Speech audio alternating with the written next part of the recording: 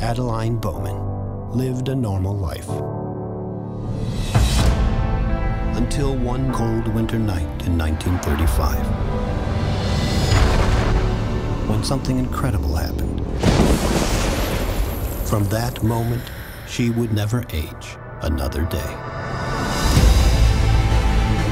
I'll always be your mother. And you'll always be Don't you miss having someone to love? It's not the same when there's no growing old together. Without that love is just heartbreak. Dad, this is Adaline. How is this possible? You look exactly like this old friend of mine.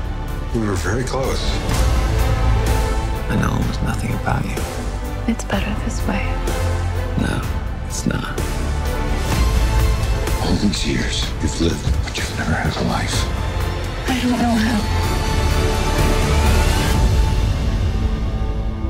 Tell me something I can hold on to forever and never let go.